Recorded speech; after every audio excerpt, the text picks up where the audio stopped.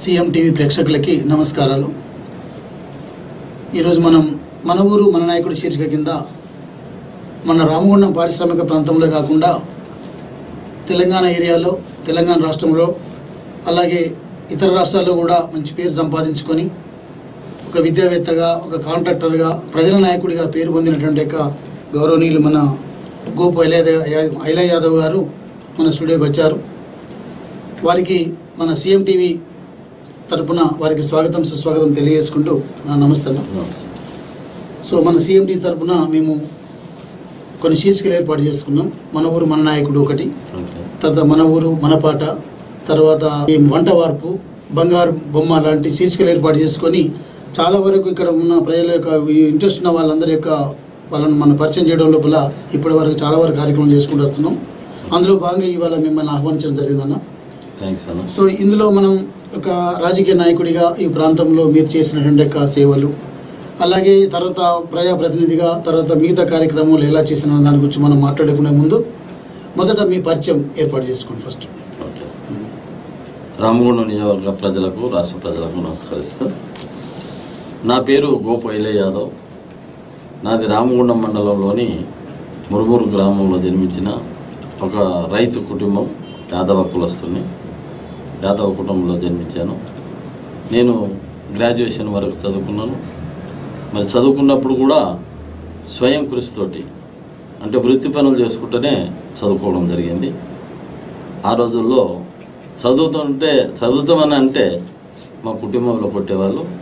మా కుటుంబంలో ఏకైక వ్యక్తిని చదువుకున్నవాళ్ళు తదుపరి మరి చదువు అనంతరం ఉద్యోగం దొరకక నిరుద్యోగ చాలా ఇబ్బందులు పడుతున్న సమయంలో మరి ఇక్కడ నేషనల్ థర్మల్ ప్రాజెక్ట్ ఎన్టీపీసీలో చిన్న ఉద్యోగం మూడు వందల రూపాయలకు ఫస్ట్ నేను ఒక కాంట్రాక్ట్ దగ్గర ఉద్యోగం చేస్తూ అనంతరము మరి దేవుడి దేవాల ప్రజల దేవాల వృత్తి చేపట్టాను కాంట్రాక్ట్ వృత్తి. చిన్న చిన్న ఎర్త్ వర్కులు కన్స్ట్రక్షన్ వర్కులు. అది పోతూ పోతూ పెద్ద కాంట్రాక్టర్గా చేయడం జరిగింది. మరి దాంట్లో మనం బతకడమే గొప్పతనంగా భావించిన తరుణంలో మనం ఇతరులకు సహాయపడాలని అని మనం ఇతరులకు మనలాగా ఎంతోమంది నిరుద్యోగులు బాధపడేవాళ్ళు వాళ్ళకు మనము జీవనోపాధి కల్పించాలి అన్న ఉద్దేశంతో ఆ బిజినెస్లో కష్టాలు నష్టాలు ఉన్నప్పటికీ కొన్ని వేల మంది ప్రారంభంలో ఐదారు వేల మంది నా దగ్గర పనిచేసేవాళ్ళు. ఆ ఎయిటీ త్రీలో బిజినెస్ స్టార్ట్ చేస్తే ఇప్పటి వరకు ఒక రెండు వందల కుటుంబాలను మరి వాళ్ళకు జీవనోపాధి కల్పిస్తూ దాంతో తృప్తి పడుతున్నాం. అదే కాకుండా మనము సంపాదించుకున్న దాంట్లో కొంత ప్రజల సేవకై ప్రజలు ఎవరైనా అన్న అన్నగారు ఇప్పుడు మీరు కాంట్రాక్ట్ దానికి వచ్చే- అన్న వచ్చే ముందు విద్యార్థి దశలో కూడా విద్యాభ్యాసం అంతా మీది ఎక్కడ జరిగింది? లోకల్ జరిగిందా? Non local? విద్యార్థి దశలో మీరు ఏమైనా పోరాటాలు కానీ సామాజిక సేవా కార్యక్రమాలు కానీ పాల్గొంటూ ముందుకు వచ్చిండ్రా? విద్యాభ్యాసము పల్లెటూరులో ఐదో తరగతి వరకు అక్కడ మురుమూరు గ్రామంలో చదివాం. అనంతరము రామగుండం ఏదైతే ఇది రూరల్ రామగుండంలో అక్కడ టెన్త్ క్లాస్ వరకు హై స్కూల్లో గవర్నమెంట్ హై స్కూల్లో. టెన్త్ వరకు చదివాం. అక్కడ నుండి ఇంటర్మీడియట్ మంచిర్యాల కాలేజీలో చదివాం. ఆ తదుపరి మాకు అప్పుడు సెమీ నొమాడిక్ ట్రైబ్లో మెడికల్ కాలేజీలో నాకు అవకాశం వస్తే ఆ రోజుల్లో ఆర్థిక ఇబ్బందులతోటి మేము దాన్ని చదవలేకపోయాం. ఆ తదుపరి డిగ్రీలో జాయిన్ కావడం. డిగ్రీ అనంతరము అప్పుడు కూడా విద్యార్థి దశలో చాలా ఉద్యమాలు చేస్తాం. ఎవరికి అన్యాయమైనా ఎదుర్కొనే వాళ్ళం. తర్వాత మేము చిన్నప్పుడు కూడా తెలంగాణ ఉద్యమం. ఏది మేము మరిచెన్నారెడ్డి మరిచెనారెడ్డి సమయంలో అప్పుడు ఒక సెవెంత్ ఎంత చదువుతున్నప్పుడు కూడా ఆ ఉద్యమంలో పార్టిసిపేట్ అవుతాం. ఆ తదుపరి మాకు ఒక్క ఆలోచన వచ్చేది. ఎందరో మంది విద్యార్థి దశలో చాలా అంటే అగాత్యాలకు గురేవాళ్ళు ఎక్కడ ఎవరికి ఆపత్తి వచ్చినా మేము వాళ్ళను ఒక మాదొక టీంగా ఉండేవాళ్ళం. వాళ్ళకు న్యాయం గురించే మేము వాళ్ళకు సాయం చేసేవాళ్ళం. అంటే ఆ రోజుల్లో లేడీస్ను అమ్మాయిలను బనాయించే వాళ్ళను వాళ్ళకు బుద్ధి చెప్పేవాళ్ళం. తర్వాత అమాయకుల్ని డబ్బు ఎక్కువ వాళ్ళకు వాళ్ళకు తిరిగి డబ్బులు ఇచ్చేవాళ్ళం. ఇటువంటి కొన్ని సామాజిక కార్యక్రమాలు చేసేవాళ్ళం. ఓకే. ఈ అంటే ఎడ్యుకేషన్ అనంతరం అనంతరం మీరు ఏ వృత్తి లోపల మీరు సెలెక్ట్ అయ్యారు? ఏ ఏ వృత్తిని మీరు ఎంపిక చేసుకున్నారు? ఎడ్యుకేషన్ తర్వాత మ్యారేజ్ అయింది. మ్యారేజ్ తర్వాత ఊళ్ళో సరే అప్పుడు చాలామంది అందరూ చదువుకున్న వాడికంటే చాకలు ఉన్నాయి. చదువుకుని వాళ్ళు పని చేయరు. సోమరితనం మనం చేస్తే మిగతా వాళ్ళు మరి కులవృత్తి చేసేవాళ్ళు అంటే మాకు ఆ రోజుల్లో మా కుటుంబంలో ఉద్యోగం కానీ ఏదైనా సపోర్ట్ చేసేవాళ్ళు లేరు. సరే మాకు కులవృత్తి వ్యవసాయం ఉండేది. నేను మ్యారేజ్ అయినాక స్వయాన సిక్స్ మంత్స్ నేను స్వయాన అగ్రికల్చర్ చేశాను. నాగలు దున్నేవాడిని తోట పని చేసేవాడిని. ఇట్లా చేస్తూ ఆరు నెలల్లో కొంత ఆర్థికంగా సంపాదించాను. అదేంతో ఒక పదివేలు పదిహేను వేలు. ఆ తదుపరి ఇక్కడ ఎన్టీపీసీలో ఒక అన్ఎంప్లాయ్ సంఘం పెట్టాం నిరుద్యోగుల సంఘం. ఆ నిరుద్యోగ సంఘం- సంఘంలో మళ్ళీ ప్రెసిడెంట్గా అనుకున్నారు. మేము ఒక ముప్పై మంది నలభై మంది ఉంటాం ఎన్టీపీసీలో. ఎక్కడైనా మాకు ఉద్యోగం కావాలి అని అన్ని కంపెనీలు తిరిగితే ఏ కంపెనీ కూడా దగ్గర రాయనలే మాకు అప్పుడు ఒక కంపెనీలో ఒక మూడు వందలు ఇస్తామని ఉద్యోగం తీసుకున్నారు. ఆ ఉద్యోగం చేస్తూ ఒకసారి ఒక కంపెనీలో మాకు ఉద్యోగం లేని వాళ్ళకు ఉద్యోగం ఇవ్వరు పోతే ఏదైనా బిజినెస్ చేసుకుంటుంటే బిజినెస్ ఇవ్వరని వాళ్ళు నిలదీస్తే మేము అప్పుడు విద్యార్థి దశ విద్యార్థులాగా ఉంటాం ఈ విద్యార్థి పిల్లలు వీళ్ళేం చేస్తారు? మీరు ఎవరు చేస్తారు అని ఒక కంపెనీ యాజమాన్యం అడిగింది. మీరు ఇవాళ కానీ మా టీంలో మేము చేయడానికి ముందని ఆ రోజు అడిగితే వాళ్ళు ఇచ్చారు. ఏది earth work? First earth work contract ఇచ్చారు. ఎర్త్ వర్క్లో చిన్న చిన్న చేస్తూ మరి ఎన్టీబీసీలో ఒక స్పెషలిస్ట్గా మారినాం. Earth work specialist. ఎక్కడ ఎన్టీబీసీ వర్క్స్ ఉన్నా ఇతర కంపెనీల వర్క్స్ ఉన్నా మా దగ్గరికి వచ్చేవాళ్ళు. మాతోటి national wide NTBC overall total NTPC project ప్రాజెక్ట్లో దాని తర్వాత మా కెపాసిటీ మేనేజ్మెంట్ తెలిసింది. మేనేజ్మెంట్ పిలిచి మమ్మల్ని రిజిస్ట్రేషన్ చేసింది కాంట్రాక్ట్లో ఒక యాష్ బ్యాండ్ వర్క్ ఇస్తే దాంట్లో బ్రహ్మాండంగా విత్ ఇన్ త్రీ ఫోర్ డేస్లే వేలాది మంది కార్మికులు మిషనరీ మేము అరేంజ్ చేయడం జరిగింది. దాన్ని చూసి ఎన్టీపీసీలో మెయిన్ కాంట్రాక్ట్ లిస్ట్లో మనం రిజిస్టర్ చేసుకుంటే అప్పుడు ఏ కాంట్రాక్ట్ అయినా అన్ని కాంపిటీషన్లు ఇస్తాయి. ప్రతి వరకు మాకు వస్తే లాభం తక్కువ ఉన్నా లేకున్నా కానీ కాంపిటీషన్లో వేలాది మందిని పోషించుకొస్తాం ఓకేనా ఇప్పుడు ఎన్టీపీసీలో కాంట్రాక్ట్గా ఎన్ని సంవత్సరాలు మీరు వర్క్ చేసిండ్రు?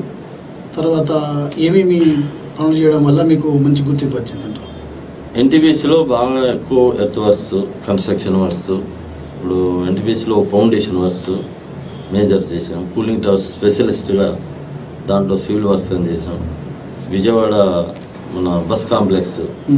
అది కూడా మేమే చేసాం ఆ తర్వాత ఒరిస్సాలో కూడా కూలింగ్ టవర్స్ వర్క్ చేసాం ఇట్లా ఎక్కువ ఎర్త్ వర్క్లో బాగా ప్రియారిటీస్ ఎర్త్ వర్క్లో చేసేవాళ్ళు. ఎర్త్ వర్క్లో మాకు మిషనరీ డంపర్స్ కానీ పొక్లెన్స్ ఇవన్నీ ఉండేటి అన్నగారు ఇప్పుడు మరి ఇంత ఇంట్రెస్ట్గా మీరు కాంట్రాక్ట్ వర్క్ చేసుకుంటూ వస్తున్నారు కదా అదే రంగంలో ఉండకుండా రాజకీయాల వైపు ఎందుకు మీరు దృష్టి చే అప్పట్లో మరల్చడం జరిగింది?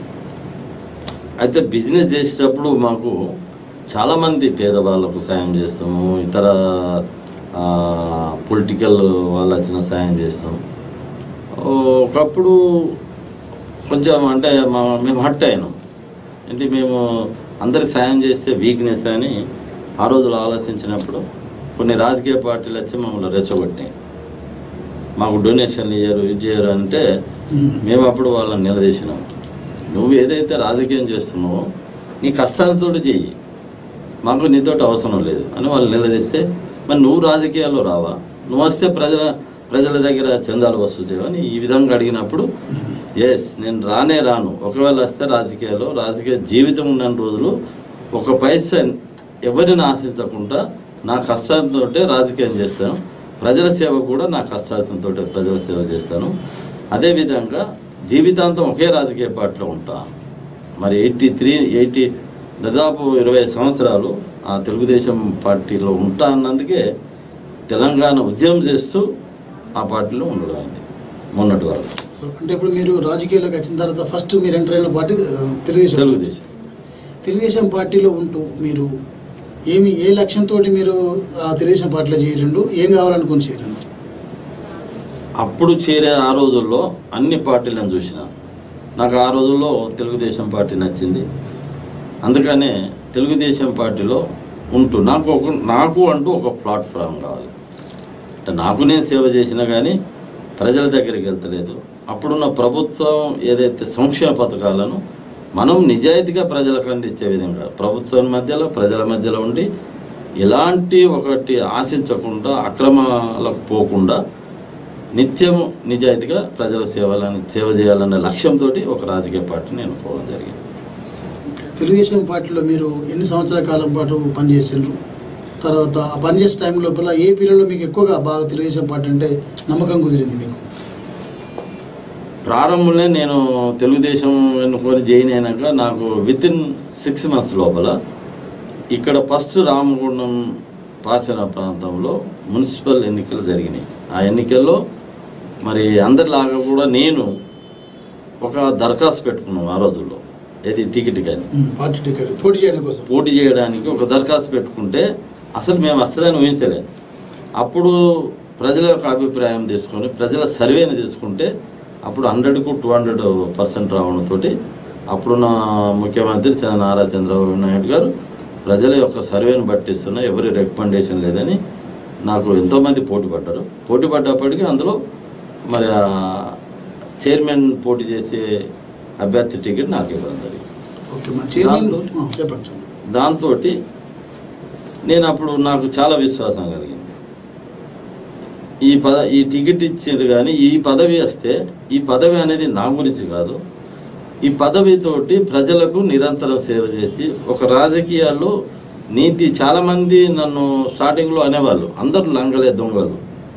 నా దగ్గరికి వచ్చిన రాజకీయ నాయకులు అన్నప్పుడు నేను నేను ఏమన్నానంటే రాజకీయాల్లో కూడా నీతి నిజాయితీ పరులు ఉంటారు. నేను ఆ నీతి నిజాయితీని నిరూపిస్తానన్న ఛాలెంజ్ చేసి మరి అప్పటి నుండి ఇప్పటి వరకు నీతిగా కట్టుబడిను.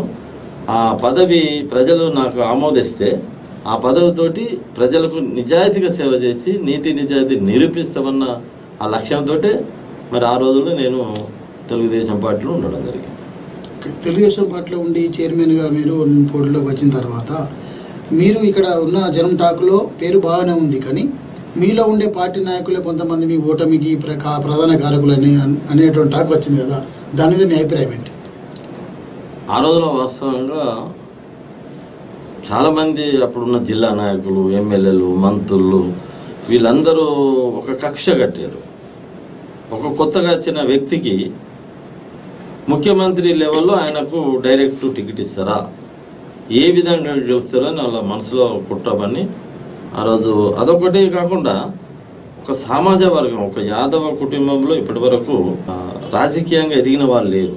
నిజంగా ఈ ఎన్నికల్లో ఒక యాదవ కుటుంబంలో గెలిస్తే వీడు పెద్ద లీడర్ అవుతాడు వీని కింద మనం పనిచేసుడా అన్న ఒక దురుద్దేశంతో ఆ రోజు నాయకులే గెలిపి ఓడించారు నన్ను. ప్రజలు కాదు.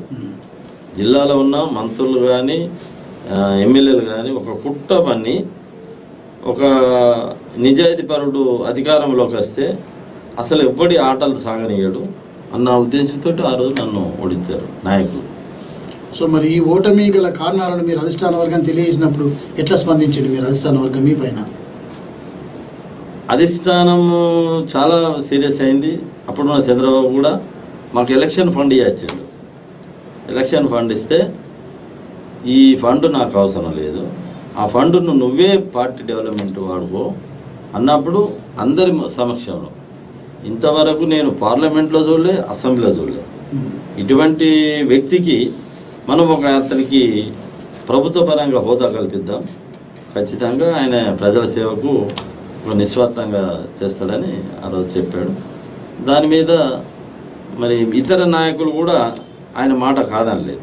ఆ తదుపరి అక్కడ కూడా ఈర్ష కుట్ర పన్నారు కుట్ర పన్ని ఆ ఏదైతే నామినేటెడ్ పదవి కూడా రాకుండా చేశారు. అయినప్పటికీ మేము మాదే ఒకటే ఆలోచన. పదవి ముఖ్యం కాదు. ప్రజల సేవ చేయడం ముఖ్యమన్న ఉద్దేశంతో నిరంతరం సేవ చేసుకుంటారు పోతాం సో చైర్మన్గా మీరు ఓటమి అయిన తర్వాత కూడా మళ్ళీ జరుగుతున్న పరిణామాలకు అనుగుణంగా మళ్ళీ ఎమ్మెల్యే ఎలక్షన్స్ వచ్చినాయి. ఎమ్మెల్యే ఎలక్షన్స్ ద్వారా కూడా మీరు ముందుకు వచ్చినట్టు పరిస్థితులు ఉన్నాయి కదా. అప్పుడు ఎమ్మెల్యే నుంచి మీరు ఏ పార్టీ నుంచి పోటీ చేసిండ్రు లేదా ఇండిపెండెంట్గా పోటీ చేసిండ్రా? చైర్మన్గా ఓడిపోయినా కూడా మేము అధారేపల్లె ఇక్కడ ఎస్సీ కాన్స్టిట్యూషన్ చాలామంది నన్ను అప్పుడు క్వశ్చన్ చేస్తారు. ఇక్కడ బీసీకి జనరల్కు అవకాశం లేనప్పుడు ఎస్సీలో నువ్వు ఎందుకు ఇంత ప్రజలతోటి మమకారంతో పనిచేస్తున్నావు వాళ్ళకు సేవలు చేస్తున్నావు నీకేమొస్తుందంటే ఎస్సీ ఉన్నప్పుడు కూడా మనకు అవకాశం లేకున్నా ఆ ప్రజలకు సేవ చేసే ఒక తృప్తి ఉంటుందన్న ఉద్దేశంతో మేము చేసుకుంటూ పోయేవాళ్ళం. అప్పుడు ఆ శ్రమను గ్రహించి ప్రజల యొక్క అభిప్రాయం మేరకు పెద్దపిల్ల కూడా మాకు టికెట్ ఇవ్వడం జరిగింది. ఏది అప్పుడు బీజేపీ అలౌన్స్లో ఇటువంటి దాంట్లో. రాత్రి రాత్రి అక్కడ కూడా చేంజ్ చేశారు. బీజేపీ వాళ్ళు మంత్రిని వదిలి పెద్దపల్లి తీసుకోవడం జరిగింది. అక్కడ కూడా అన్యాయం జరిగింది. ఆ ఎన్నికల్లో మరి ఇక పార్టీకే కట్టుబడి పనిచేసినాం. ఆ తదుపరి మళ్ళీ రెండు వేల పద్నాలుగు ఎన్నికల్లో అప్పుడు తెలంగాణ ఉద్యమం స్టార్ట్ అయింది. రెండు వేల తొమ్మిది నుండి. ఉద్యమం స్టార్ట్ అయింది. మేము తెలుగుదేశం పార్టీలో ఉన్నప్పటికీ తెలంగాణ ఉద్యమంలో చురుగ్గా పాల్గొన్నాం. తెలంగాణ ఉద్యమం చేస్తున్నప్పుడు కూడా ఎందుకు తెలుగుదేశం వదలేదని అడుగుతారు. తెలుగుదేశాన్ని వదలకపోవడం కారణం ఏంటంటే ఒకసారి మాట అన్నాం. జీవితాంతం ఒకే రాజకీయ పార్టీలో ఉంటా అన్నందుకే తెలుగుదేశంలో లేకుంటే అసలు ఆ తెలుగుదేశంలో ఉండేవాళ్ళం కాదు. అభిమానం కూడా కాదు.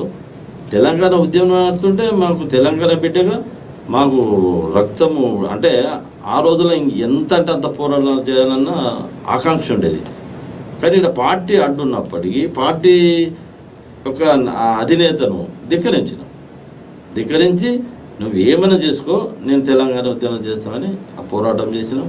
ఆల్ పార్టీకి కన్వీనర్ కూడా ఉండి చేసాం చేసిన చేసినప్పుడు అప్పుడు ఆయనకు తెలంగాణ అంటే గిట్టదు. ఇది చంద్రబాబు నాయుడు. పైకి చూడనే కపట ప్రేమ కానీ లోపల మాకు చెప్పేవాడు తెలంగాణ ఎట్టి పరిస్థితుల్లో రాదు. మీరు భ్రమపడకండి. ఏం యాదవ్ నువ్వు పది జిల్లాలో ఎవరు చేయకపోతే నువ్వు తెలంగాణ ఉద్యమంలో బాగా చురుకు పాల్గొంటున్నావు? నువ్వు నష్టపోతావు. అని మమ్మల్ని బెదిరించేవాడు. అయినప్పటికీ నువ్వు బెదిరిస్తే నీకు బెదిరేది లేదు. మాకు తెలంగాణ మా ఏరియా మా ప్రాంతం కార్మిక క్షేత్రం. నేను కార్మికుల పక్షానే ఉంటా అన్న ఉద్దేశంతో ఆయన ధిక్కరించి తెలంగాణ ఉద్యమంలో చేస్తే ఒక మొన్న రెండు వేల పద్నాలుగు నాలుగు నెలల కాల వ్యవధిలో ఇన్ఛార్జిగా ఉన్న నన్ను తప్పించి ఇతర ప్రాంత వ్యక్తిని ఇక్కడ రెడ్డి అని ఒక రెడ్డి ఫీలింగ్ తోటి ఇక్కడ పెట్టడం జరిగింది. దాన్ని మనం ధిక్కరించినాం నువ్వు నేను ఒక పట్టుదలతోటి ఒక మాటకు కమిట్మెంట్ అయి నేను ఉంటే నువ్వు నాకు మోసం చేస్తావా? సరే నేను ప్రజల పోయి తెలుసుకుంటా ప్రజల పక్షాన ఉంటానని రాజీనామా చేసి మొన్న రెండు వేల పద్నాలుగులో మరి అంత తెలంగాణ సెంటిమెంట్ ఉన్నప్పటికీ ఎందుకంటే నేను తెలంగాణ బిడ్డగా తెలంగాణ ఆ యొక్క ఉద్యమంలో పార్టిసిపేట్ అయినందుకు కార్మికులు కానీ ఇక్కడ ఉన్న ప్రజలందరూ నా పక్షాన్ని నిలిచారు. నిల్చొని కొన్ని వేలాది మంది నా వెంట నడిచారు. అయినప్పటికీ అక్కడ ప్రాబ్లం ఎక్కడైందంటే ఇండిపెండెంట్ గుర్తుతోటి ప్రజలు మా అందున్నా కానీ ఆ ఇండిపెండెంట్ గుర్తుతోటి సార్ ఇప్పుడు ఇప్పుడు మీరు అప్పుడు తెలంగాణ ఉద్యమంగా తెలంగాణ బిడ్డగా తెలంగాణ పార్టీలో టీడీపీలో వండుకుంటాను చేశారు కదా. మరి తెలంగాణ బిడ్డగా వండుకుంటూ తెలంగాణలో ఒక నాయకత్వం వచ్చిన ఒక నాయకుడి దగ్గరికి వెళ్ళి ఎందుకు మీరు టికెట్ గురించి ఆలోచించడం కానీ లేకపోతే మీరు చేస్తున్న పనిని చూసి వాళ్ళు ఎందుకు మిమ్మల్ని పిలవలేదు అప్పుడు? ఓకే పిలిచిర్రు. ఉమ్. మేము చేసే పనిని కేసీఆర్ స్వయాన నన్ను పార్టీలోకి ఆహ్వానించిండు. కేసీఆర్ నాకు కూటమిలో టికెట్ పోయినప్పుడు కూడా ఆ టికెట్ మనకే ఇస్తున్నారు పార్టీలో.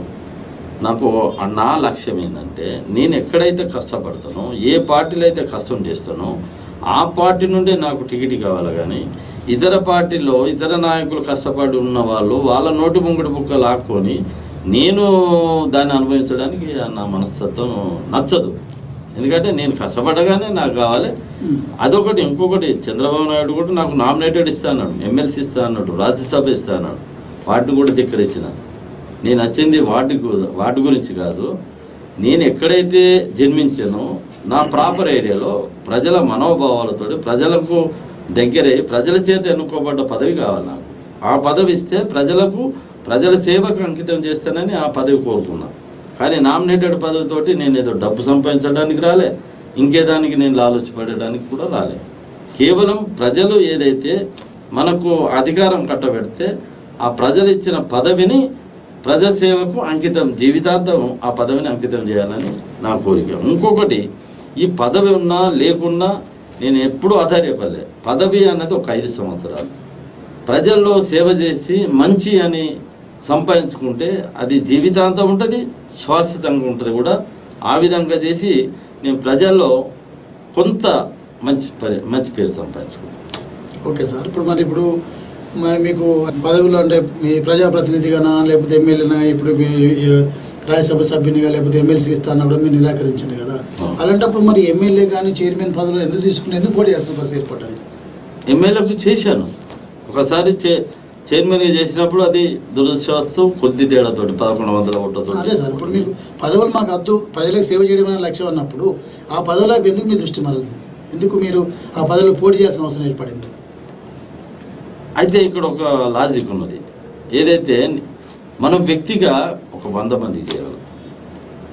అదే ప్రజల చేత ఎన్నుకోబడ్డ పదవి ఉంటే కొన్ని వేల లక్షల మంది కూడా మనం సేవ చేయొచ్చు. పోస్ట్- సేవ ఏంటంటే. ప్రభుత్వ పథకాలు అక్రమంగా అరాచకంగా మరి పేదవాళ్ళకు అందకుండా ప్రజాప్రతినిధి దాన్ని దుర్వినియోగం చేస్తారు. మన లక్ష్యం అది ఏంటంటే ఒకసారి ప్రజలు మనకు ఏదైతే అధికారం ఇస్తే ఆ అధికారాన్ని ప్రజలకు ఏ విధంగా సర్వీస్ చేస్తారు? అంటే నిజాయితీని నిరూపించాలని నా కోరిక ప్రజాప్రతినిధి ఎంతవరకు నిజాయితీగా ఉంటాడు?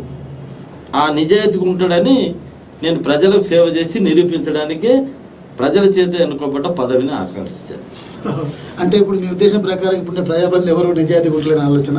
నూటికి తొంభై తొమ్మిది శాతం మీరు ఒక్కటే ఆలోచించండి. ప్రజాప్రతినిధి కాకముందు లక్ష రూపాయలకు ఉంటాడు. వందల కోట్లకి ఎట్లా అవుతున్నాడు నీకు ఏం బిజినెస్ ఉన్నది?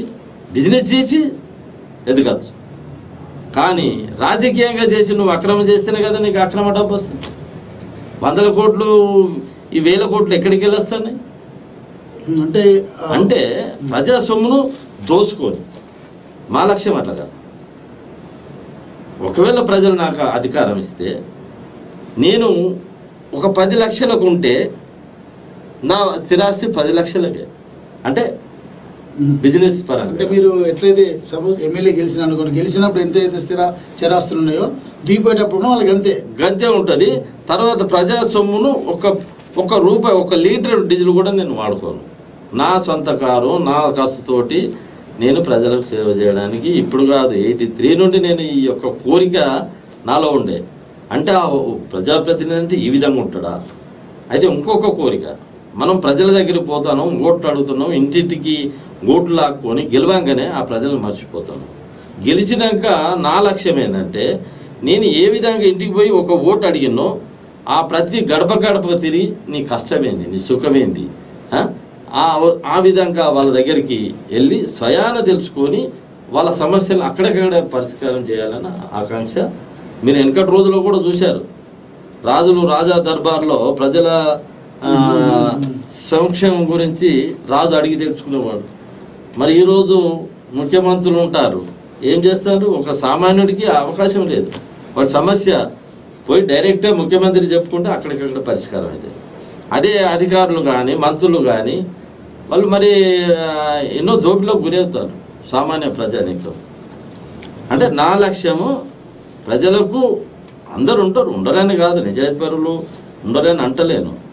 కానీ ఒక ప్రజాప్రతినిధి ప్రజలకు ఏ విధంగా సేవ చేయాలి? తను ఏమి ఆశించకుండా ఒక్క రూపాయి కూడా ప్రజల నుండి ఆశించకుండా నిత్యము ఫ్రీ సర్వీస్ చేయాలి. అది చేసి నిరూపితం నా లక్ష్యం. ఓకే సార్ మీరు ఆ లక్ష్యాన్ని మీరు ఒకవేళ ఎమ్మెల్యే అయినాక కూడా ఆ లక్ష్యాన్ని మీరు కరెక్ట్ ఫుల్ఫిల్ చేయగలరా?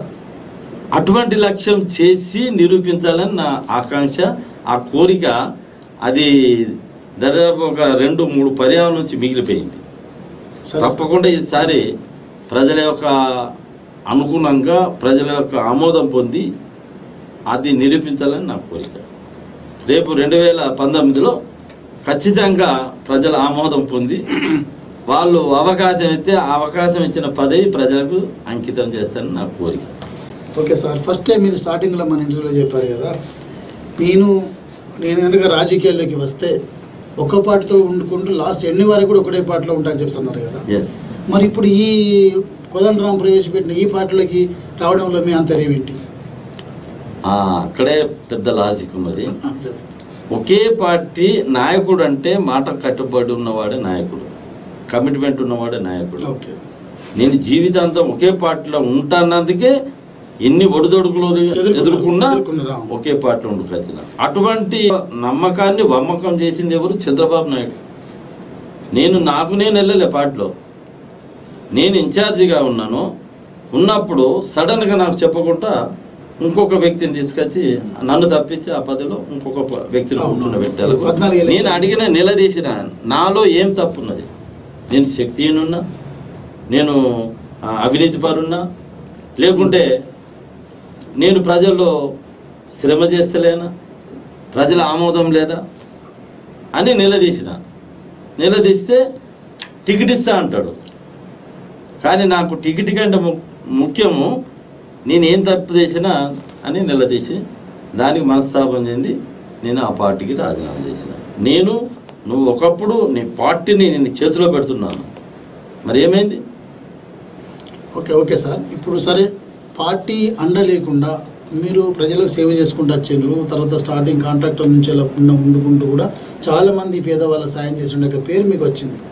సో ఇప్పుడు ఆ- పార్టీలో ఉండడం వల్ల ఇంత అవినీతి అక్రమాలు దౌర్జన్యాలు ఉన్నవి తర్వాత ఎవరైతే వస్తారో వాళ్ళకు కన- పదవులు ఇచ్చేసి అసలే వాళ్ళు మరుస్తూ అనుకున్నప్పుడు మీరు స్వతంత్రంగా ఉండుకుంటూ పోటీ చేసి మీ అనుకున్న లక్ష్యాన్ని సాధించుకోవచ్చు కదా?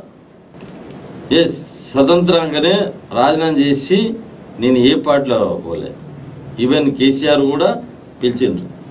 నువ్వు ఉద్యమం చేసినావు నీలాంటి నిజాయితీ పరుడు కావాలి ఒక సామాజిక వర్గం నుంచి వచ్చినావు అన్నప్పుడు నేను నీ పార్టీలో పనిచేయలే ఉద్యమం చేసిన.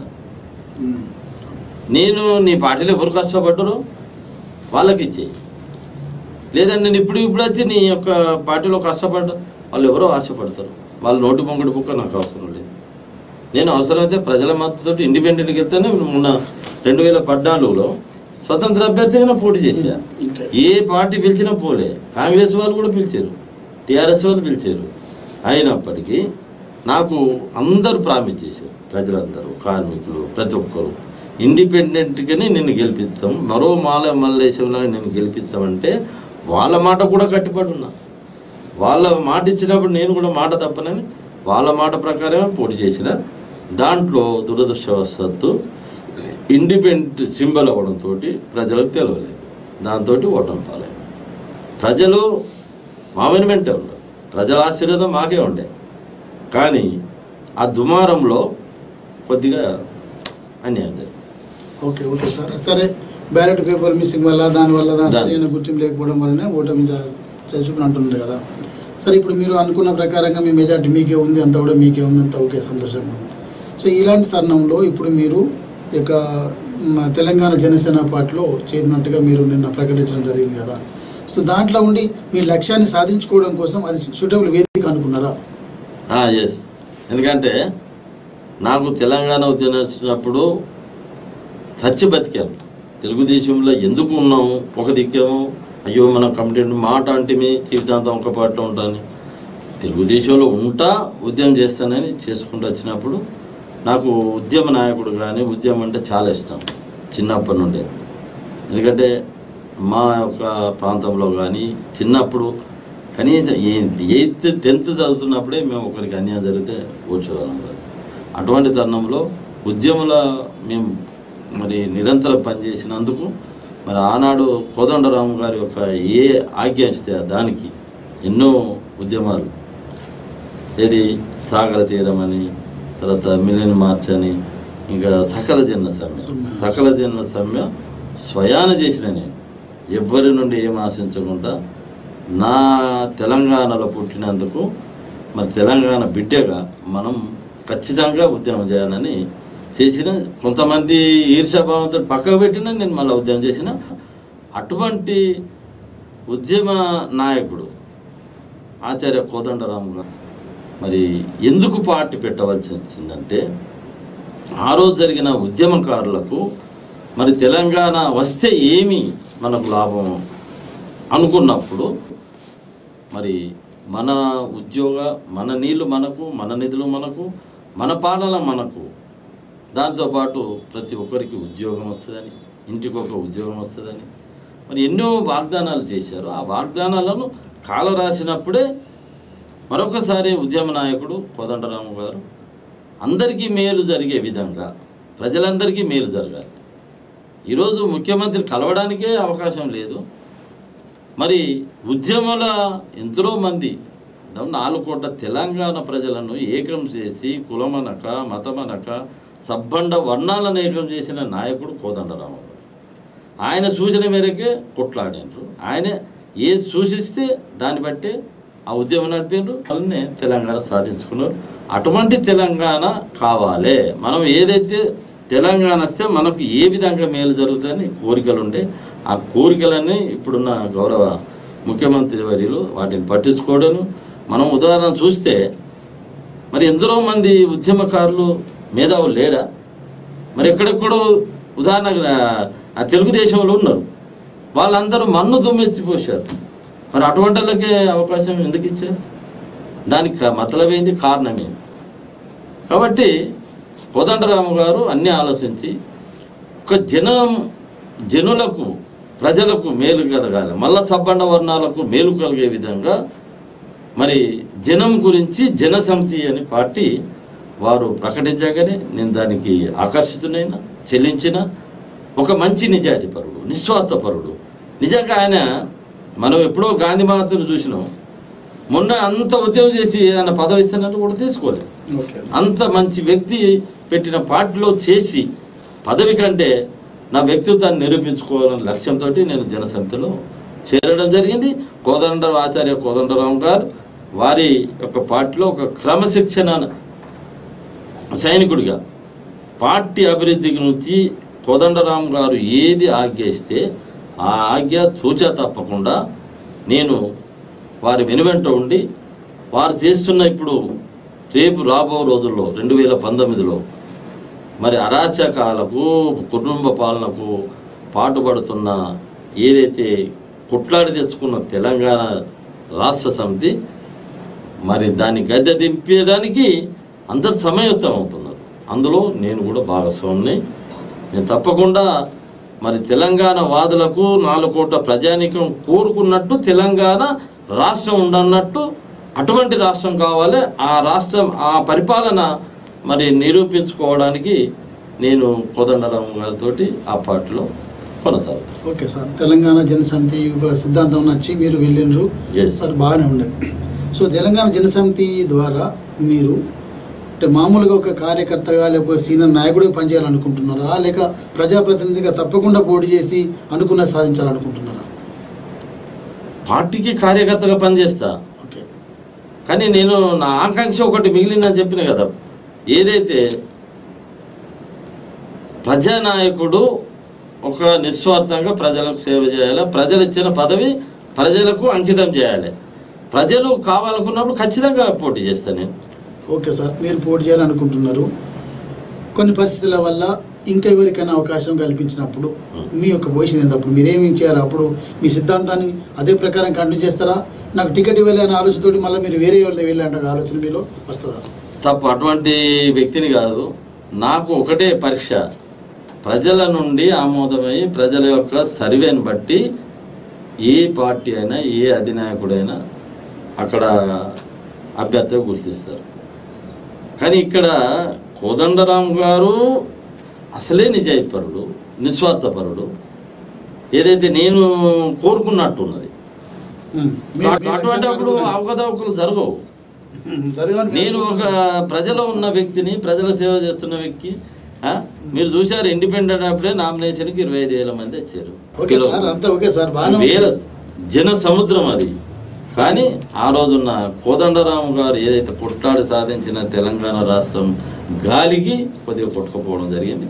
మళ్ళీ అదే కోదండరాము గారి పెట్టిన జనసమితి తెలంగాణ జనసమితి ఖచ్చితంగా అధికారంలోకి వస్తుంది. అది ఒక జనుల నుండి ఉద్భవించిన పార్టీ. జనసమితి కాబట్టి ఖచ్చితంగా వారి ఆలోచన మేరకు. ఒకవేళ కోదండరామ్ గారు వద్దంటే నేను త్యాగం చేస్తాను. నిజంగా నేను నీకు ప్రజల్లో మద్దతు లేదంటే నేను త్యాగం చేస్తాను సార్ ఒకటి సార్ ప్రతి నాయకుడు కూడా పార్టీలో చేరేప్పుడు ఏదో ఒకటి ఆశించుకొని చేయడం జరుగుతుంది ఇప్పుడు. మీలాగానే మీ మీలాగానే ఇంకో కొంతమంది ప్రముఖులు ఇదే రామగుండ నియోజకవర్గం నుంచి చేరడం జరుగుతున్నది వాళ్ళందరూ కూడా అదే దాన్ని ఆశిస్తున్నారు ఈ. ఈ ఆశించేటువంటి ఫలితం మన పోటీలో ఒకవేళ కనుక తప్పితే మ్మ్. గురి తప్పితే దానిపైన మీ ఆలోచన ఏంటి మీ లక్ష్యాన్ని మీరు మనిషి ఆశ చెయ్యి ఆశ లేనివాడు మనిషి కాదు. తప్పకుండా నాకు కూడా ఆశ ఉంటుంది. ఇతరులకు కూడా ఆశ ఉంటుంది. నా ఆశ ఏ విధంగా అంటే నేను ఇంట్లో కూర్చొని ఆశపడా. నేను నిత్యం ప్రజలకు సేవ చేసి ప్రజలు మన్ననలు పొంది రేపు ఏ పార్టీ అధినేత అయినా ఒక ప్రజల యొక్క సర్వే నిర్వహిస్తారు. ఆ ప్రజల్లో సర్వే వస్తేనే నేను పోటీకి అర్హుడిని. ఒకవేళ నాకు సర్వే లేకుంటే నేను టికెట్ తీసుకున్న లాభం లేదు కదా. సరే సార్ ఓకే. ప్రజల సర్వేతోటి ప్రజల మన్ననతో ప్రజల మద్దతుతోటి గెలవాలనే నా కోరిక. కానీ ఆ ప్రజల మద్దతుతోటే నేను గెలుస్తానని నా కోరిక. అన్న ఓకే అన్నగారు ఓకే. మీరు చాలా చక్కగా చెప్పింది మీ మీ దాంతో అందరూ ఏకీపిస్తాం వారు ఇప్పుడు తెలుగుదేశం పార్టీలో మీరు లాస్ట్ చేయలేమన్నారు అని అంటే నేను ఈ పార్టీకి నియోజకవర్గానికి ఇన్ఛార్జిగా ఉన్నప్పుడు కాదని కొత్తగా వచ్చిన ఒక వ్యక్తి నిజ ఇన్ఛార్జ్ ఇవ్వడం వల్ల హట్ అయి నేను పక్కకి వచ్చి రాజీనామా చేసిన అని చెప్పి అన్నారు కదా. ఓకే? ఇప్పుడు కూడా అలాంటి పరిస్థితి కనుక ఏర్పడితే దాని మీద మీరు ఏమి నిర్ణయం తీసుకోవాలనుకుంటున్నారు ఎట్లా చేస్తారు మీరు?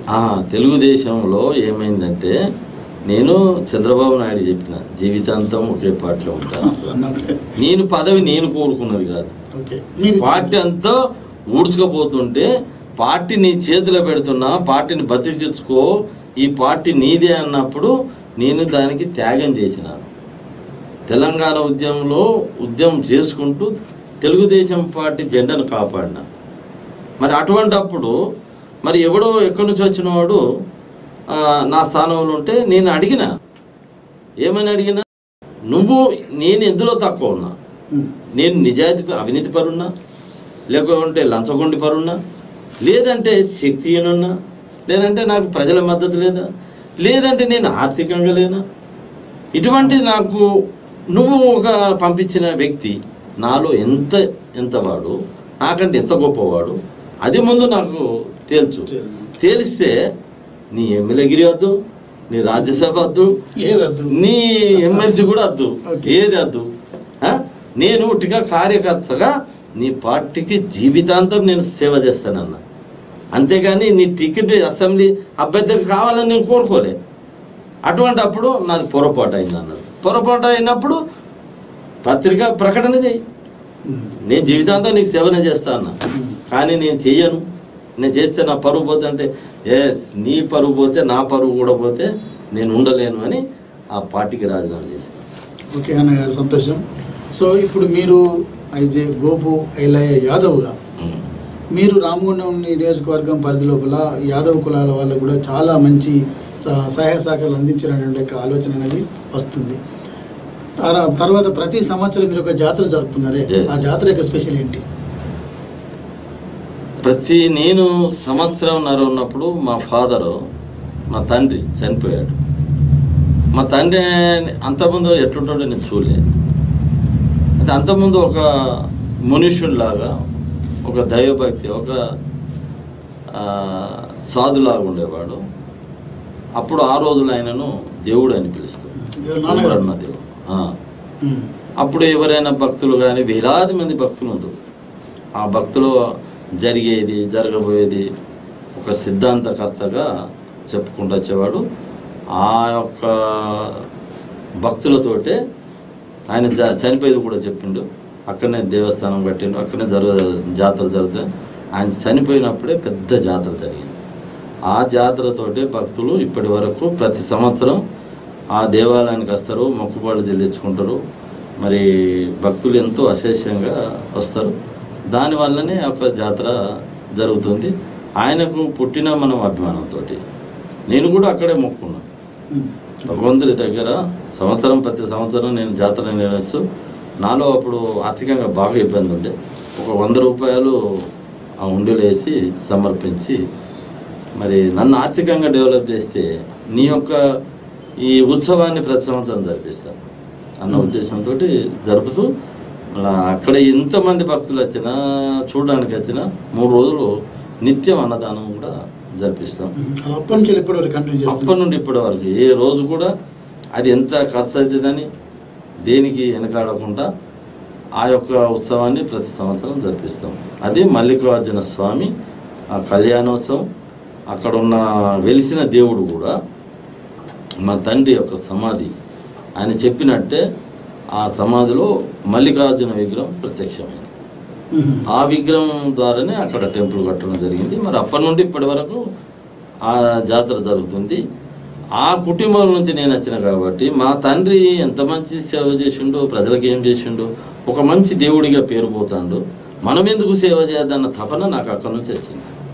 తండ్రిని పేరును చూసిన. తండ్రిని చూడలే కానీ తండ్రి తండ్రి పేరు. పేరును చూసి మనం కూడా కొంత ప్రజలకు సేవ చేసి ఒక మంచి అంటే దేవుడిగా అనిపించుకోలేదు. ఒక మంచి వాడు అనిపించుకోవాలన్న కోరిక. ఆ కోరిక కొంత నెరవేరింది. మంచివాడు అనిపించుకున్నాను. ఇంకా కూడా ఇంకా మంచి పనులు చేయాలని కోరిక. ఓకే సంతోషం అన్న గారు. సో మనకు ఇంతవరకు జరిగిన ఇంటర్వ్యూలో మీ యొక్క లక్ష్యాన్ని మీ యొక్క సిద్ధాంతాన్ని మీ యొక్క పట్టుదలను మీరు పాటలో చేసిన పనితీలన్నీ కూడా వెలిబుచ్చారు కదా. మా యొక్క సీఎం టీవీ తరఫున మీరు ఈ రామగుండం నియోజకవర్గం ప్రజలకు ఇచ్చిన యొక్క సందేశం ఏంటి? ఏం చెప్పాలనుకుంటున్నారు ఈ యొక్క ఇప్పుడున్న పరిస్థితి లోపల సీఎం టీవీ నిర్వహించిన నేను కృతజ్ఞత తెలియజేస్తున్నా. ఎందుకంటే నాకు ఒక అవకాశం కల్పించింది సీఎం సీఎం టీవీ. అంటే ప్రజలకు ఏం చేసేదంటే ప్రజలకు ఒక ప్రజాప్రతినిధి ప్రజలు ఎదుర్కొంటున్న సమస్యలు వాళ్ళ సమస్యలు పరిష్కరించట్లో నిత్యం సేవ చేయాలని నా తపన. ప్రభుత్వం ఏదైతే ప్రవేశపెట్టిన ఎన్నో సంక్షేమ పథకాలు ఉంటాయి ఆ సంక్షేమ పథకాలు నిజాయితీగా ప్రజలకు పేదవాడికి అందుతుందా అందుతలేదా?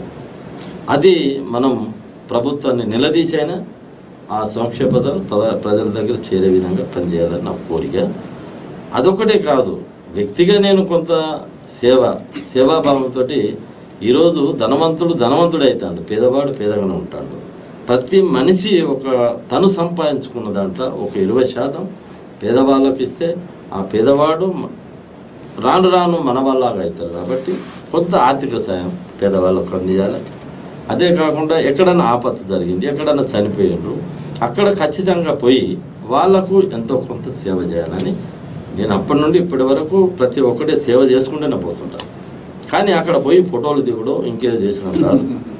కానీ మన మానవ దృక్పథంతో కొంత సేవ చేయాలని ఇక్కడ నాకు ఇంకొక తపన ఏంటంటే నాకు జన్మనిచ్చిన జన్మస్థలంనే ప్రజలకు సేవే సేవ చేసే భాగ్యం కలిగితే వాళ్ళకు సేవ చేసి రుణం తీర్చుకోవాలని నా కోరిక. ఓకే థ్యాంక్ యూ అన్నగారు. ఇప్పటి వరకు మనకు మన స్టూడియోలో గో బైలేద్ యాదవ్ గారు ఇచ్చేసి వాళ్ళ యొక్క ఆలోచన విధానాన్ని వాళ్ళకు నుండి యొక్క లక్ష్యాన్ని చెప్పడంలో ప్రధానంగా ఏంటంటే ఒక కాంట్రాక్టర్గా వండుకుంటూ ప్రజలు వేరే వాళ్ళు వచ్చేసి అతను పురిగొల్పడం వల్లనే రాజకీయాల్లోకి వచ్చినాడు రాజకీయాల్లోకి వచ్చినా కూడా ఒకే రాజకీయ పార్టీలో ఉంటా అని చెప్పేసి అనుకొని అదే రాజకీయ పార్టీలో వండుకుంటూ కార్యకర్త నుంచి వెళ్ళి ఒక మంచి పోటీ స్థాయిగా ఎదిగినటువంటి ఒక ఐలయ్య యాదవ్ గారు కేవలం ఆ పార్టీలో వచ్చిన ఒక చిన్న విభేదం వల్ల బయటకు రావడం జరిగిందని అంటున్నారు. అలాగే ఇండిపెండెంట్గా పోటీ చేసినప్పటికీ కూడా ప్రజల మద్దతు నాకున్నది ఒక ప్రజా నాయకుడు ఇవ్వాలనుకుంటున్నారు అట్లా ఇంకొకటి ఏంటంటే ఇక్కడ ప్రజాప్రతినిధిగా ఉన్న వ్యక్తి ఎవరు కూడా స్టార్టింగ్ నుంచి ఎండింగ్ వరకు ఒకే రకంగా ఉండకుండా అవినీతి అక్రమాలకు పాల్పడుతూ అనేక సంపాదించుకుంటున్నారు. నాకు ఒక్కసారి అవకాశం ఇస్తే అలాంటివి లేకుండా నేను ప్రజాప్రతినిధిగా ఉంటూ ఆ యొక్క ప్రజలకు సేవ చేస్తాననే యొక్క ఆలోచన భావంగా ఉండి ఈ నిన్న అతడు ప్రొఫెసర్ కోదండరామ్ గారు ఏర్పాటు చేసిన యొక్క తెలంగాణ జనసమితిలో చేరి వాళ్ళ లక్ష్యాన్ని సాధించుకొని ముందుకు వచ్చినటువంటి యొక్క సిద్ధాంతం ప్రకారం ఉన్నారు కాబట్టి వారికి వారి యొక్క ఆలోచన విధానానికి మనందరం కూడా హెడ్సప్ చెప్తూ ఈరోజు వచ్చినటువంటి యొక్క గోప ఐలేంద్ర యాదవ్ గారికి మన సీఎం టీవీ తరఫున కృతజ్ఞత తెలియజేసుకుంటూ ఈ యొక్క మనవూరు మన నాయకుడు కార్యక్రమం ముగిసిందిగా ప్రకటిస్తున్నాం. Thank you